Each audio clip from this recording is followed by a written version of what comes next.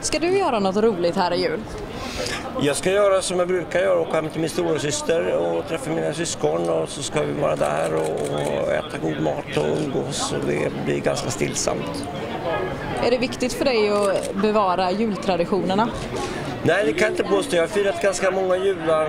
Dels åkte jag väldigt mycket skidor när jag var ung och, och, så att jag har tillbringat många jular på hotellrum eh, i Alperna och, och eh, New York och London och, och sådär. Titta på teater och så. så det är inte så viktigt. Vilket är ditt bästa julminne? Ja, det måste ju vara när min dotter var liten och då finns det många roliga minnen. Alltså det här fascinationen när hon ser granen och är tillräckligt stor för att liksom när hon är så här tre eller någonting. Eh, så med, med, ja, med granen tror jag är, är, var häftigt när hon var, var liten. Ja.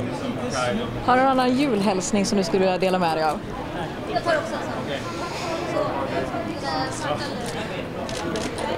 Nej, den, alltså, jag tycker att världen skulle skaffa sig en, en känsla för proportioner.